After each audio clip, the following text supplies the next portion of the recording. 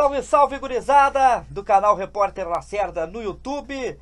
Primeiro, agradecendo os expressivos números que estamos obtendo aí, a torcida colorada comprando o nosso projeto. Pedir para você continuar seguindo o Repórter Lacerda. Dá o like, o like aí se você está gostando do nosso conteúdo e ative o sininho para receber as notificações quando chegar o novo vídeo. Nos últimos dias, quer dizer, nas últimos, no último mês, aí o que eu tenho recebido de mensagem perguntando sobre as torcidas do Internacional não é brincadeira. Principalmente uma especial, a torcida Super Fico, que está dando o som do estádio Beira-Rio.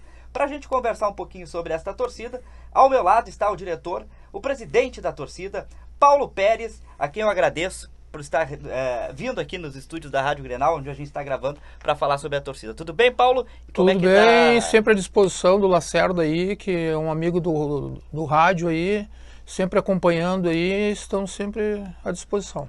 Paulo, como é que é vocês estarem nesse momento dando som no Beira Rio. Vocês, com a proibição das torcidas que, que receberam sanções, é a Superfico que está dando som no Beira Rio. Conta para nós um pouquinho desses bastidores, dia de jogos, enfim, como é que está lidando com todo esse sucesso da Superfico? Não, isso aí é normal, a gente, a gente sempre teve a nossa bateria, o nosso som. A gente, na realidade, só trocou um pouquinho o lado, chegou um pouco mais pro para o lado do escanteio e aumentou um pouco o número de integrantes da bateria, né? Uhum. E estamos puxando a, a música que o povo precisa para cantar e levar o Inter às vitórias. É, vocês, é, é, claro, os materiais são o Inter que fornece, né? Não tem ligação com, com as organizadas. Esse aumento de material é do clube, né? Como tem, por exemplo, na Arena, que tem o material do Grêmio. Não, na realidade ali o, o, o clube, não, o clube não nos dá nenhum material. Uhum. Entendeu? É que a gente contrata músicos. Ah, tipo assim, o pessoal do sopro é o pessoal do exército, da banda marcial. Um indica o outro e a gente vai acertando eles dentro do grupo entendeu? E, e, os materiais de, de bateria, de percussão, são nossos, adquiridos por nós mesmos. É, porque a Superfico existe desde 77, né? Desde 77. É. E... Agora, 24 de abril, vai fazer 43 anos. Uhum. É a segunda torcida mais velha do Inter. É, né? A primeira é a camisa 12 com 50 anos. É porque muitos jovens, né, com 15, 16 anos, ah, agora ouviu falar de Superfico porque Não, é, torcida, mas, mas, ela tem uma história muito tem, ampla. Tem uma história grande, tem uma história grande. Quantos componentes tem a Superfico em normal? Em Atu atualmente, assim, atualmente são 350 sócios, tá? uhum. tá? Uh, mas por jogo vai. Jogo de Libertadores é uma coisa, Gauchão é outra, né? Uhum. Libertadores vai 200, uh, Gauchão vai 100, depende muito do, do jogo, né?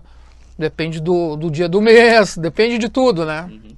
E como é que foi para vocês receber assim do clube, ó, é vocês que vão dar o som do Beira-Rio com as, com as punições da 12 e da Popular. É tudo com vocês. Como é que foi pro Paulo receber essa essa é incumbência, incumbência porque é o seguinte, tu tá dando som para 45 mil pessoas sim, sim. e tu sai na TV ali para milhões de pessoas, sim. né? Como é que foi para ti, Paulo? Não, a gente nem se assustou assim, para nós foi uma coisa normal, entendeu? Uh, e fluiu muito normal. Ah, isso é interessante. Fluiu normal. Uh, jogo, a, jogo a jogo tá melhorando. É, por que fluiu? Porque a gurizada toda do Beira Rio comprou? Isso. A torcida? A torcida comprou. Uh, no último jogo a gente ficou espantado que eles começaram a cantar músicas nossas que não, não eram da da popular, que não tinha o alcance da, da, da popular na, é verdade, na época, entendeu? É Teve músicas da Superfico que foram entoadas em todo o estádio. Eu a gente ficou também. muito satisfeito com isso. É verdade. O pessoal saber cantar uma música diferente, sabe? Domingo eu vou no Beira Rio levar foguetes e bandeiras. É uma música tradicional da FICO. Da, é uma, da, uma música família também. Né? Mais torcida é. organizada, né? Porque a popular é uma barra, né? Ela, ela canta um outro tipo de, de um outro tom, né? Uhum. Paulo, agora é o seguinte. É, se nota também que o barulho do que o Beira Rio tem com vocês é um barulho até bem, bem legal, é um barulho até maior que muitos jogos. Por quê? É pela localização? É porque a galera realmente comprou? É porque os instrumentos da Fico são bons? Qual é o segredo para esse barulho? E fica bonito o Beira Rio, porque começa lá da, da, sim, da parte sim. superior e vai para inferior e vai fazendo o anel e vai todo mundo é. cantando. Que coisa louca, né? Parece peça de dominó. É, não, isso aí foi. O som lá de cima ele sai melhor. Uhum. Ele sai bem melhor que de baixo, entendeu? Lá de cima ele chega mais amplo em todo o estádio, tá? Devido à a, a cobertura A cobertura, então o som bate na cobertura e abre para todo o estádio. Então ele sai bem melhor. É, é, é, bem interessante isso aí. A gente que acompanha futebol, eu sou um cara que estou no estádio, mas eu boto a gravar o jogo. Então chego em casa ou no, ou no outro dia eu estou vendo o jogo. Eu vejo o, o, meu, a minha bateria entrar na, no som da TV. É, é. é entendeu? Então é, é, a amplitude aumenta lá de cima. E deixa eu te perguntar o seguinte, muita gente perguntou aí, porque eu abri para as perguntas. Sim. Existe alguma possibilidade, por exemplo, de um dia unificar todas as torcidas? Uh... Todas cantando o mesmo ritmo? Ou tu acha que isso é um sonho distante? Eu acho que é um sonho distante. Para nós ali é distante. Até para o próprio Grêmio é distante. Uhum. Tanto que criaram uma banda uh, que chamam Banda do Grêmio, né? É. Que, que é para resolver problemas, né? Uhum. É banda do Grêmio e as outras torcidas morreram, né? Uhum. Não tem como naquele espaço ali eh, quatro torcidas, três torcidas do Grêmio lá, não sei a quantidade deles, uh, tocarem o mesmo som, entendeu? E tu teme, Paulo, que agora caindo a punição da Popular, da 12, enfim, uh, esvazia ali o setor e vocês uh, não, não continuem dando esse ritmo? Tu teme isso? Não, mas não é um, não é um problema para nós isso aí, entendeu? Nós, nós vamos continuar com o nosso ritmo, com a nossa bateria, uh, tentando fazer um, um público diferente uh, acompanhar, entendeu? Vamos voltar à rotina normal. Claro que a popular lá, ela consegue puxar mais gente, tem aquele público fiel deles que cercam eles ali, mas isso é uma coisa normal, cada um tem seu público. Nós somos ali do lado sul, tem o lado norte lá que tem a camisa 12, tem a nação, tem a feminina que, que tem a bateria delas também nós vamos fazer o nosso sonzinho, continuar, continuar de boa. E, tem a Roots agora também ali lá. De a Roots, é. Mas a Roots é, é mais a torcida mesmo, sim, né? Sim. E como eu te dizia, assim, ó, cada um toca seu som ali, pega seu público e a gente não deixa de acompanhar a popular em certas músicas, entendeu? Hum. Aquelas músicas que chamam o estádio todo, assim, a gente acompanha eles também, entendeu? Nós não temos problema de acompanhar a popular em algumas músicas. Né? Paulo, para a gente já finalizando aqui o nosso bate-papo, existe já alguma ideia, alguma conversa para o Grenal da Arena do Grêmio no próximo muita gente diz que não é do Grêmio, mas sim, da Arena no próxima quinta, uh, na, pela Libertadores, que é o Grenal histórico. Né? Sim.